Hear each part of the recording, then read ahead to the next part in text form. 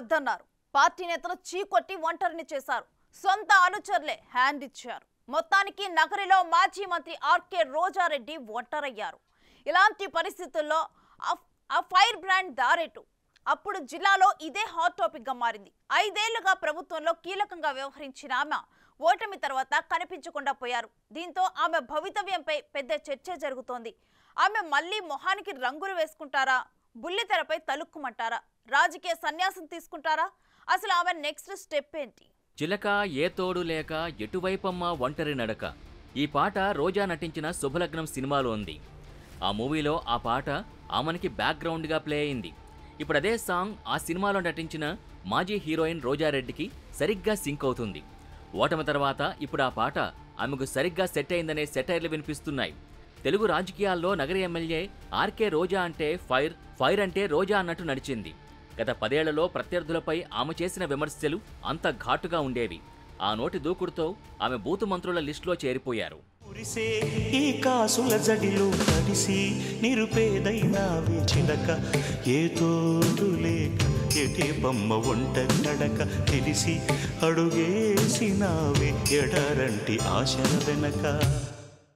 ఏ అంశం మీదైనా ప్రత్యర్థుల్ని ఏకిపారేయడం రోజా స్టైల్. రెండోసారి ఎమ్మెల్యే అయిన తర్వాత మంత్రివర్గంలో చోటు దక్కకపోవడంతో తీవ్రస్థాయిలో అలకబోనడంతో జగన్ ఆమెకు కీలకమైన ఏపీ ఐఐసీ చైర్మన్ ఆ తర్వాత పర్యాటక శాఖ మంత్రి పదవిచ్చారు. చంద్రబాబు నుంచి పవన్ కళ్యాణ్ వరకు ఆఖరికి వారి కుటుంబ సభ్యులను కూడా వదలకుండా నోరు పారేసుకున్నారు రోజా. చివరకు తమిళ సూపర్ స్టార్ తలేవా రజనీకాంత్ను సైతం రోజా వదల్లేదు. ఈరోజు నేను సూటిగా అడుగుతున్నాను రజనీకాంత్ గారిని. నిజంగా చంద్రబాబు నాయుడు ఎన్టీఆర్ గారిని వెన్నుపోటు పొడిచిన విషయం మీకు తెలీదా?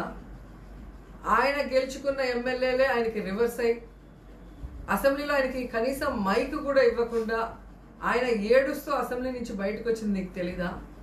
లేదంటే ఎన్టీఆర్ గారు ఆ తర్వాత మీటింగ్ పెట్టి నా అల్లుడు చంద్రబాబు నాయుడు పెద్ద దొంగ తడిగుడ్డలతో గొంతులు కోస్తాడు జామాతా గ్రహం అని చెప్పింది మీరు వినలేదా? వినలేదంటే నేను సీడీలు పంపిస్తాను. ఒకసారి చూడండి. ఎందుకంటే ఎన్టీఆర్ లాంటి గొప్ప వ్యక్తి అందరికీ తెలుసు. మీరు చెప్పాల్సిన అవసరం ఇప్పుడు ఆ మాజీ హీరోయిన్ బొమ్మ రివర్స్ అయింది. ప్రత్యర్థిగా పోటీ చేసిన టీడీపీ అభ్యర్థి గాలి భానుప్రకాష్ చేతిలో నలభై ఐదు వేల ఓట్ల తేడాతో దారుణ పరాజయం పాలయ్యారు. పదేళ్ళ ఎమ్మెల్యేగా ఉన్న రోజాకు నగరి వైసీపీ నేతలతో సఖ్యత లేదు. ఎంతసేపు జగన్ మెప్పు పొందడానికి అన్నట్టు ప్రత్యర్థులపై నోరు పారేసుకోవడానికే టైం కేటాయించారు. ఆ క్రమంలో సొంత నియోజకవర్గంలో సొంత పార్టీ నేతలతో కూడా గిల్లికజ్జాలు పెట్టుకున్నారు. నియోజకవర్గ అభివృద్ధి సమస్యల పరిష్కారంపై దృష్టి పెట్టిన పాపాన పోలేదు. అధికారాన్ని అడ్డం పెట్టుకుని సొంత ఆదాయం జబర్దస్తుగా పెంచుకున్నారు. నువ్వెవ్వడివి అని అడుగుతున్నా. ప్రతిపక్ష నాయకులు ప్రజల్లోకి వెళ్ళకూడదా? మీరు సహించలేరా అంటాడు. నువ్వు ప్రతిపక్ష నాయకుడా. నువ్వు చంద్రబాబు నాయుడు పనికి మాలిన పార్టీలుగా ఉన్న అధ్యక్షులు.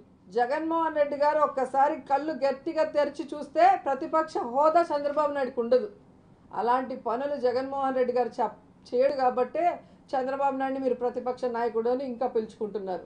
నీకు నువ్వే ఎమ్మెల్యే కాలేదు. నీ పార్టీలో ఒకడు కూడా లేడు. నువ్వేం ప్రతిపక్ష నాయకుడు అని నీకు నువ్వే చెప్పుకుంటున్నావో నాకైతే అర్థం కావట్లేదు. టీడీపీ నేత గాలి భానుప్రకాష్ ఆమెపై వ్యతిరేకతను చక్కగా క్యాష్ చేసుకుని ఎన్నికల్లో చావు దెబ్బ కొట్టారు.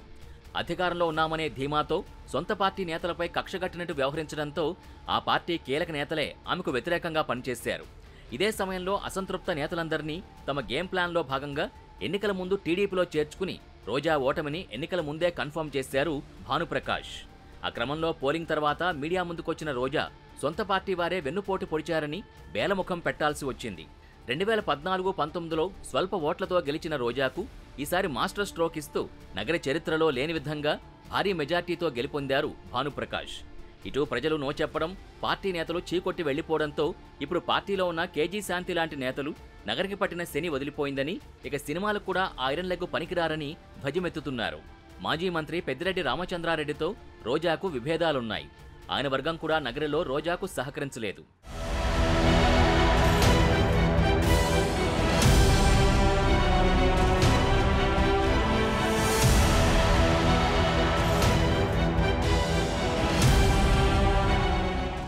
దానికి తోడు టీడీపీ అభ్యర్థి భానుప్రకాష్పై ఎన్నికల ముందు కర్రలు రాడ్లతో దాడి చేయించడం వాహనాలు ధ్వంసం చేయడం లాంటి ఘటనలతో నగర తెలుగు తమ్ముళ్ళు రోజా టీంపై కసితో రగిలిపోతున్నారు.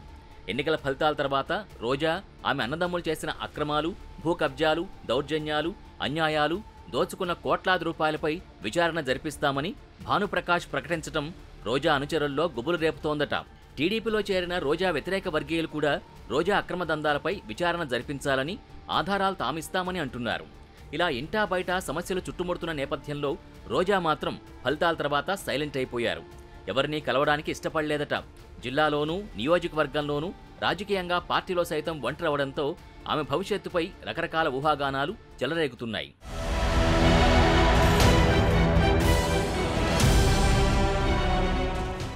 ఆమె రాజకీయాల్లో కొనసాగుతారని కొందరు అనుచరులు అంటుంటే మరికొందరు మాత్రం సినిమాల్లోకి తిరిగి వెడతారని చెబుతున్నారు.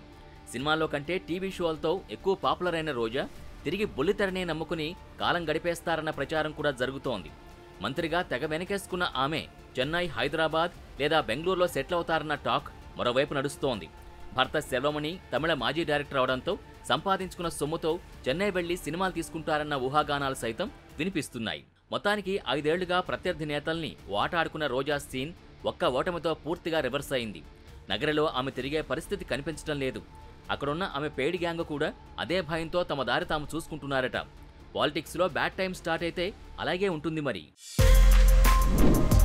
For more videos like this subscribe Big TV channel